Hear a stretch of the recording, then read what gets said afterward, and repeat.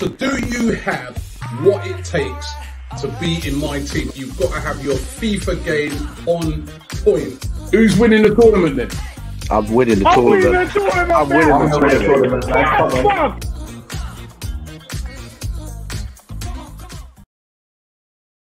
Hi, and welcome along to AFTV News Daily, the early edition. Hope that you guys are doing brilliantly today.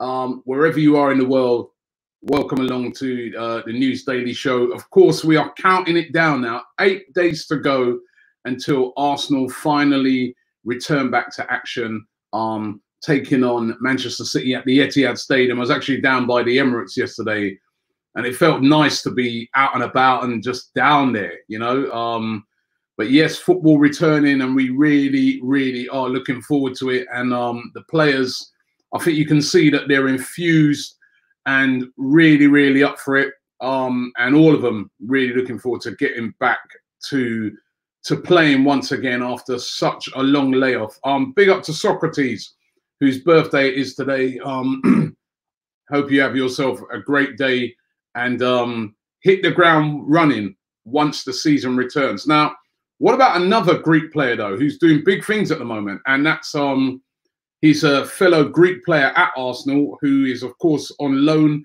at the moment over there in the Bundesliga, um, in Bundesliga two actually, uh, for a team called Nuremberg, and that's Konstantinos Mavropanos, um, centre back who's been at Arsenal. Really had a tough time at Arsenal with injuries. You know, he's barely played, and it's been an injury ravaged time for him, uh, sort of plucked from nowhere. When you look at him, he has all the attributes to be a centre back, but as I said, we just not really ever had a chance to really had a good look at him. However, on his loan move, he's doing very well um, at Nuremberg. He's been putting in some really good performances, and there's been a lot of suggestions that he's actually been their best player or one of their best players um, this season.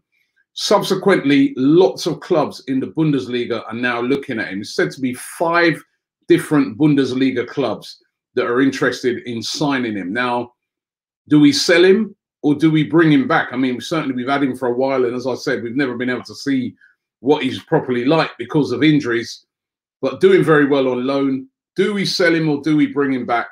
Um, what would his price be if we sell him? Remember, he's still only uh, 22. You wouldn't believe that because he seems to have been at the club for a while, but he's still only 22 and um, a big commanding centre back. You don't want to see the, the risky thing about these things is you, you don't want to make that mistake, do you?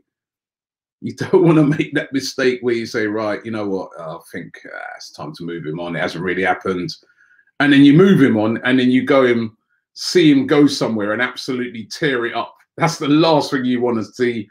Um, but it's going to be interesting to see what happens with him. They, they'll definitely be monitoring him right until the end of the season. But Mavropanos apparently wanted by five different Bundesliga teams, and five different Bundesliga, teams wouldn't want you if they didn't rate you. Um, Thomas Partey. Oh no, no, this is starting to be like the Benzema thing a few years ago. Every day, on and on and on and on. ESPN today uh, claiming that Arsenal are ready in a bid for um, Thomas Partey. He's got a 44 million pound release clause. I don't think Arsenal would be really looking to pay all of that. Um, and then there's been so many rumours about it. He hasn't signed a new deal yet at Atletico. Remember, I said that Guillem Balagué said that you know um, the the Spanish journalist works here in the UK for Sky. Um, he said that he can't see Thomas Partey signing a new deal. So where is he going to end up? The rumours around Arsenal just seem to be constant. He's had teammates from Ghana that have come out and urged him to sign for Arsenal. Others that have said yes, Arsenal. He loves Arsenal. Family members, all the usual stuff. Um, but will this be a deal that gets done um, this summer? Certainly, it's in a position that we could do with really strengthening. It, from what I've seen of him, he's definitely somebody who would bring a lot to that Arsenal midfield and sorting out the spine of the team. But will it be this summer or won't it be? Um, it just keeps going on. Thomas Partey, day in, day out. Or will Arsenal switch their attentions to another player playing over there in Liga in La Liga, and that's this guy. Um, his name is Marc Roca. Uh, he plays for Espanyol. Again, another defensive midfielder, very, very highly rated. Um, has had another uh, very, very good season and um, said to be uh, valued. Well, his release clause is 35 million pounds, so that's cheaper than Thomas Partey's 35 million pounds. Mikel Arteta, who of course knows Spanish football inside out, he's Spanish himself, of course, um, is an admirer of Marc Roca and said to be very interested in him. He's only 23, so that's a, a very, very good age. And the Spanish media, or some outlets in the Spanish media, claiming that Arsenal are leading the race to sign him in the summer. Spanish outlets you can never be overly dependent upon because you know you you'll find different parts of the media push agendas for different clubs to help drive values of players up, etc., etc. But that's the rumor coming out. He's uh, under contract, as I said, till June um, 2022. So he's still got a quite um, a decent amount of time to go on his contract. So it wouldn't be cheap. But Arsenal said to be uh, rumored to be very interested in bringing him in, or Mikel Arteta, according to the rumors this summer, certainly seem to be looking in that defensive midfielder um, position a lot, Arsenal, at the moment. And then there's also the right back position, which a lot of fans have sort of said that they feel that's a bit of a problem. Um, nobody's really quite clicked there. You've got Hector Bellerin, you've got Ainsley Maitland Niles, and of course, now we've brought in Cedric. Well, could this guy come in? His name is, uh, I've, I've spoken about him before about four or five weeks ago. Dennis Gyamfi. He's a Leicester City player, but doesn't really get any game time at Leicester. He's, he's a young lad. He's only 18 and his contract is expiring um, in June. Now he's a very good player, very good prospect, um, but he's got to dislodge Pereira to get any first team um, time in that Leicester squad, and that's a very, very difficult thing to do because Pereira amongst the very best out there in that right back position at the moment. Arsenal, who have been interested, are still very interested in him. There's a host of other clubs that want him as well. Um, where will he decide to go? It'd be a free because, as I said, his contract is up in June and he still hasn't signed a new deal with Leicester. So could he be heading to Arsenal? Right back is a um, seeming to be a bit of a problem position for Arsenal. He's young. We're we're always talking about you know adding young talented players to the squad. Um, could he be a young talented player that we could add to the squad? Uh, it's going to be it's going to be interesting summer because you know I think Arsenal are looking at these type of young progressive players. Um, a player who's not young and progressive, but a good player is Henrik Mkhitaryan, still at Roma on loan. Still lots of talk and speculation about what happens to Henrik Mkhitaryan. Um, he did an interview, and in that interview, he had some uh, very interesting things to say. He's done a lot of interviews, he has, hasn't he? Um, uh, he was asked, of course, about Roma. Um, does he want to stay? You know, and uh, these are his quotes. He says, "Of course, I would like to be at Roma next season. Uh, not only next season, but for another few years. But I still have a contract with Arsenal, and it's not up to me. It's up to Arsenal and Roma if they agree terms of the transfer fee. So my thinking um, is to train hard." um, to play hard and to look forward to what's going to happen. Of course, if I'm not going to stay at Roma, I have to go back to Arsenal. I'm not complaining. Football life uh, changes so quickly, so you have to be ready to play wherever you are. If not in Rome, I'm going to go back and play for Arsenal. If not, I'm going to stay here and play for Roma. So, um, reading into that, what he's basically saying is, you know, first choice is I want to stay here. I want to stay at Roma for the next few years. I want to be a Roma player. However, if they can't come to an agreement with Roma Arsenal, I'm happy to go back to Arsenal and play. And as a matter of fact, um, there's been a lot of talk that you know Mikel Arteta is actually quite an admirer of Mkhitaryan. He likes Mkhitaryan, so you never know if that's not sorted this summer, which it might not get sorted this summer because, you know, the difference with Arsenal and Roma is is money, and everybody knows money's in short supply because of the whole coronavirus crisis. Um, so we could very well see Henrik Mkhitaryan come back to Arsenal. Um, where would he fit in, really? You know, I mean, I'm sure Arsenal would like to sell him to Roma, and that is the the best solution. But you heard it from him there. He's not against coming back to Arsenal and again fighting for his place. So interesting, interesting. And again, it's going to be an interesting summer for Henrik Mkhitaryan. Uh, let's see some of your comments. Nelson says Arsenal interested in a Leicester player who is presently not getting uh, play time in Leicester City. Finally, we are doomed. So you can't look on it like that. You know, this is the thing. You'll say that, Nelson, but if that, if, um, for instance, he goes somewhere else and he tears it up, we'll all be there saying, "Oh, why didn't we? We could have had him. He was there on a free." Blah blah blah. You know, I mean, you get a lot of prospects that are very good players, but they can't get in the team.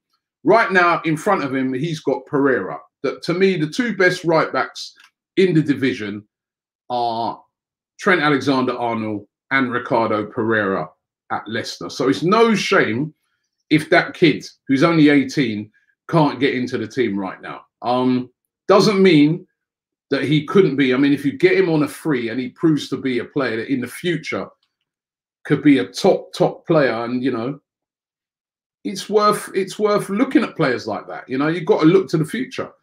Um, Ilya says uh, we should be trying to pers- um, pursue Partey, but if that isn't possible, then Roca would be a decent alternative. So obviously, Arsenal looking around at a lot of different players at the moment. Um, Quan Kenny says, uh, Robbie, love from Malaysia. Ramsey, Wilshere, Giroud, and Walcott. Who do you miss the most at Arsenal? I think it would have to be Ramsey. I think, you know, we, have not scored any goals from hardly any goals from midfield this season. So, um, yeah, it's Ramsey. Idris says, "Good morning, Don Robbie. The um, the fact that five different teams want Mavropanos means he's good enough. We don't know who those five Bundesliga teams are, but five Bundesliga teams are five Bundesliga teams. You know what I mean? Um, you know, they are all interested in him, so you know he must be do doing pretty well."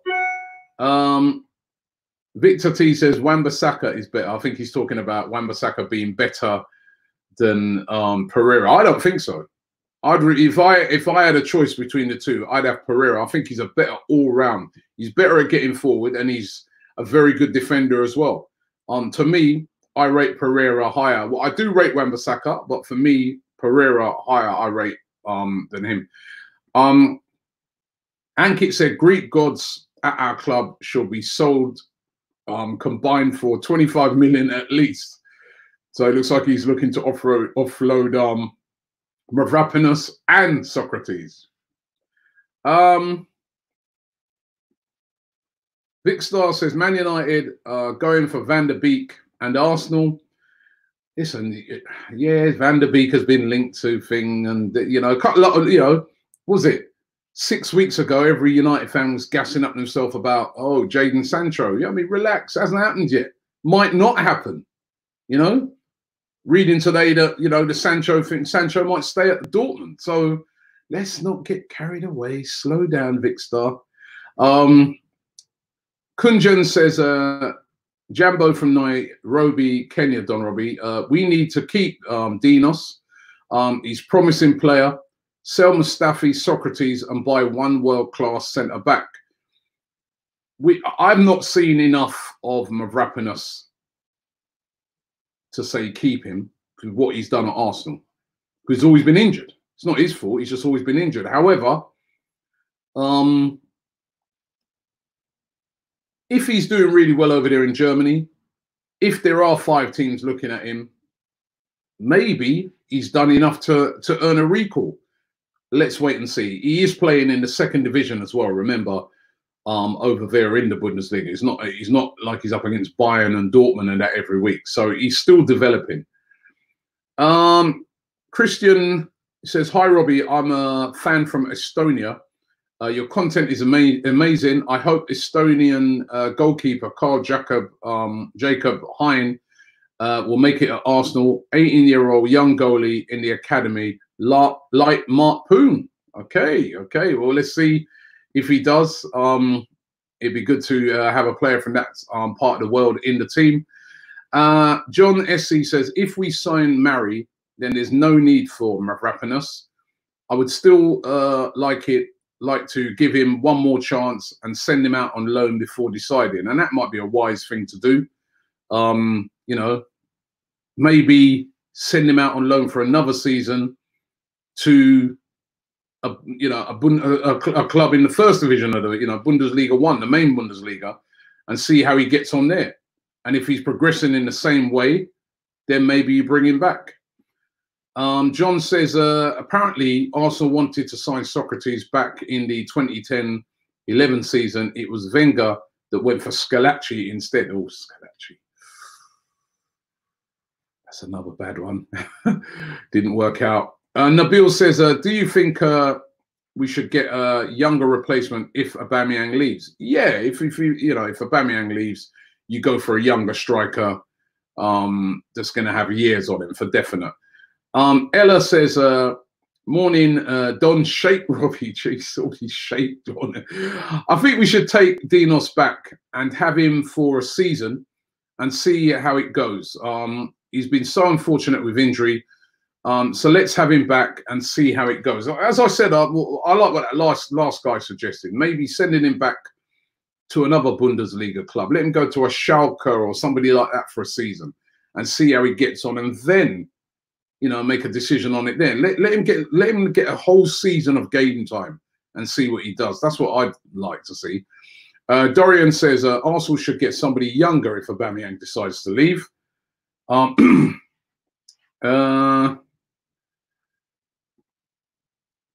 Iger says Marc Roca and Partey would be a good double pivot, a very expensive double pivot, very expensive double pivot. Um, King Wasso says keep Mavropanos, trust me, because Mislintat's decision and Mislintat never goes wrong. Well, Mislintat does get stuff wrong, um, but it was a Mislintat um, signing. Um, Black Badger says, "Why are there no rumors of for a defender?" There's been a lot of rumors um over defenders. You know, this Sarsi and guys like this. Um, remember, I keep stressing this. We're not actually at the end of the season yet. Um, really, Schooner says, if we got Partey and Aubameyang signs a team, um, that would be a good, a decent window this summer. What position um, could we get next year? And he says, uh, stay home, stay home. Partey, yeah, listen, Partey and Aubameyang signing would be very positive. Defending still, you know, that's still a problem. Um, but could Mari be the answer to that? We don't know. Could it be Mavropanos? Um, Prasnav says uh, Dinos has three years left on his contract. Um, he's young and on low wages. His price will only increase, especially given the current value, his potential and performances on loan. I say keep him for now. Um, it's uh, I can't pronounce that. I think it's Aura Freak. He says, uh, "Hello, Robbie. How you doing? Uh, do you think uh, we should replace Lacazette with a new striker, or we should try Nketiah, Martinelli, John Jules, and Balogun?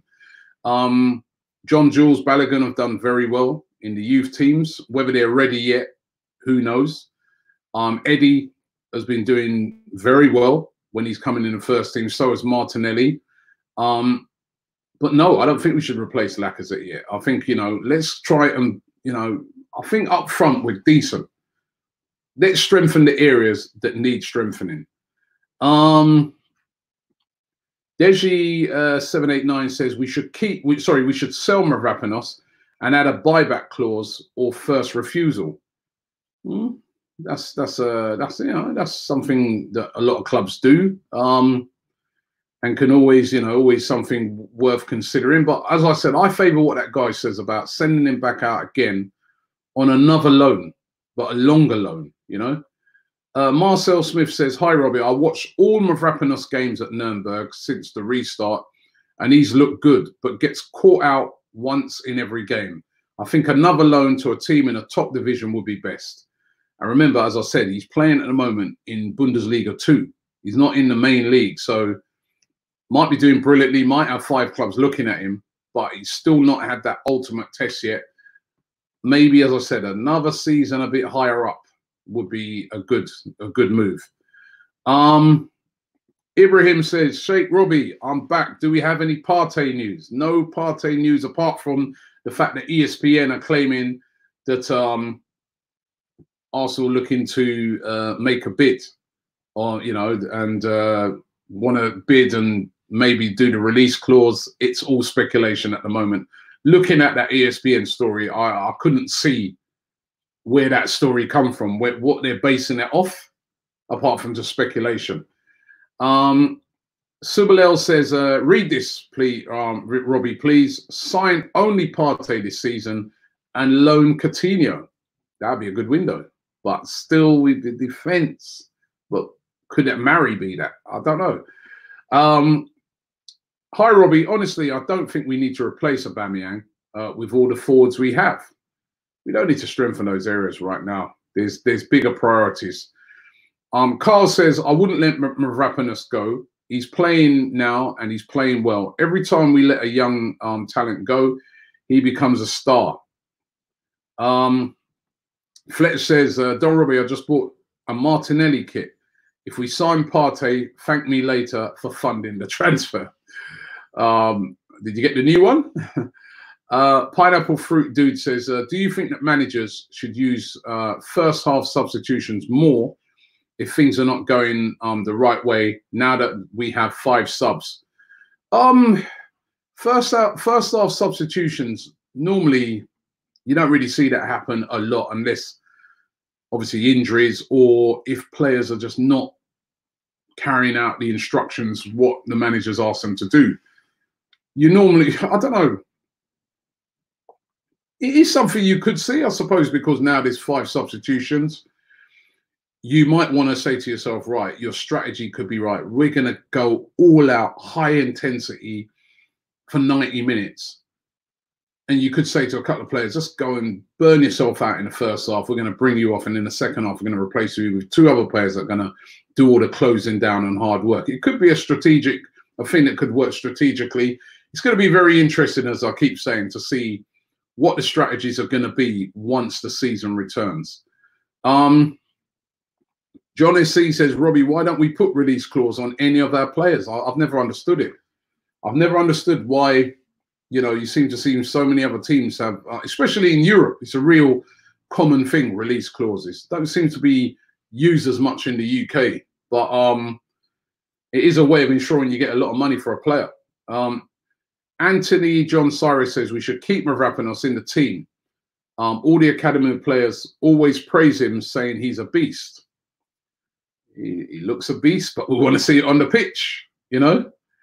Um, Kaji says uh, we need a CAM, Robbie. Why haven't we? Um, why aren't we talking about Grealish or Buendia? Um, I think the reason why is that we all know that uh, is going to be staying for at least another season. So probably also kind of keeping their powder dry to wait until when he leaves at the end of next season. However, there has there has been talk that they're looking at this uh, guy Kökçü who plays for Feyenoord. So he could come in. You never know this summer. Uh, Gorsican says, uh, I can't wait for five substitutes because it can be game changing. Imagine swapping all the defenders for attackers. Uh, that'd be interesting to see if that does happen. Um, Varon says Martinelli played in the Brazilian fourth division. Why can't you give Mavropanos a chance? He's playing in the German second division. I'm giving Mavropanos a chance. Mavropanos is doing well, but I want to see more. And I just think that, yes, you know, you send a player down to the championship and he's doing well, fair enough. Right? He's done well for half a season. I might then look to the next season to say, well, you know what?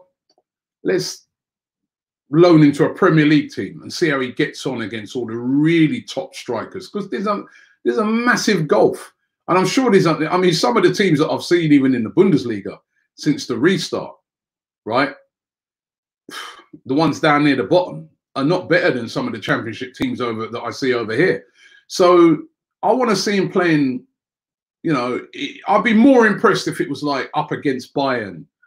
You know, he was marking Haaland out the game for Dortmund, and you know, uh, you know, so I don't want to get carried away with this. But then I agree, you don't want to let a you know a, a young prospect go, and he has been injured a lot. But let's just slow down and see how he gets on. Um, Jam Jam Jam says, Hi, Robbie. Uh, do we really need Mkhitaryan when we have Pepe and Nelson? In my opinion, I think he should just stay at Roma. It's all going to come down to price, though. Arsenal um, want a fee for him. They'd rather sell him. Roma obviously don't want to spend a lot of money on him. Um, so I, I, it's going to come down to fee. And if the fee's not right, I'm sure Arsenal will bring him back and then maybe even think about loaning him somewhere else. Um, Omar says four managers haven't been convinced by Mavropanos, which should tell you all you need to know. Not good enough. Again, you know, we need to see. We need to wait and see. Uh, Dank says, Don Robbie, you're my inspiration. Wow. Thank you very much for that. Um, DJ Fury Deja Vu says um, Arteta hardly makes subs in, in reply to that one about the uh, four substitute uh, option.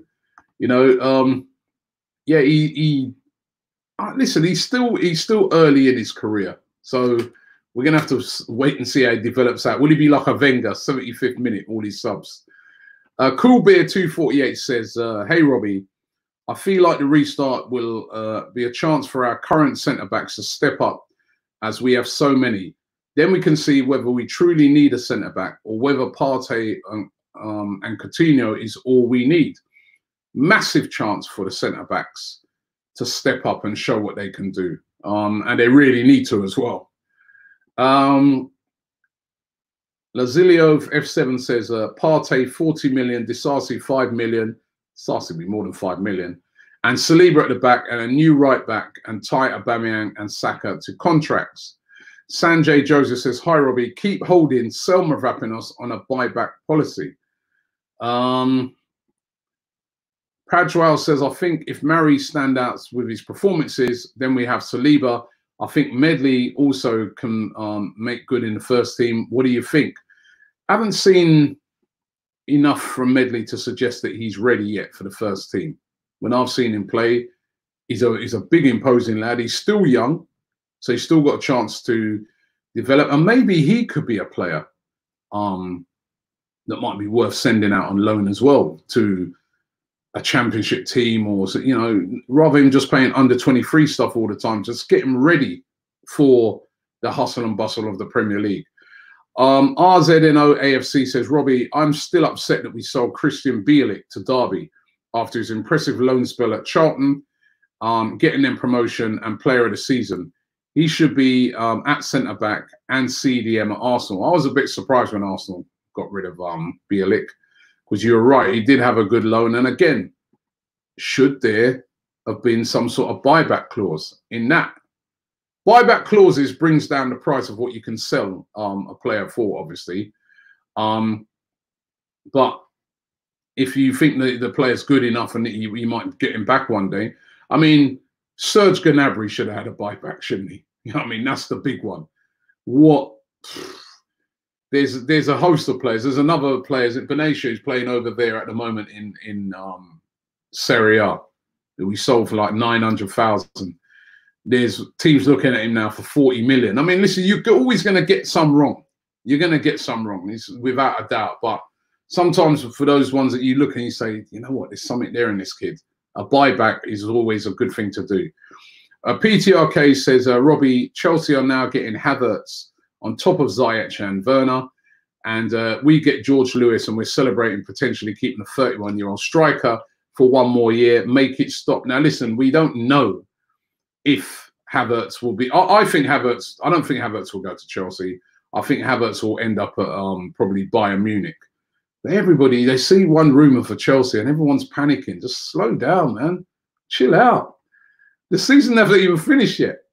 Um, Guna Gamer TV says uh, Sultan Don Robbie regarding uh, yesterday's conversation. If African players picked Africa if if African players picked Africa instead of bloody France and others, etc., if Africa was one united country, they would win the World Cup every time, hundred percent. Of thoughts certainly.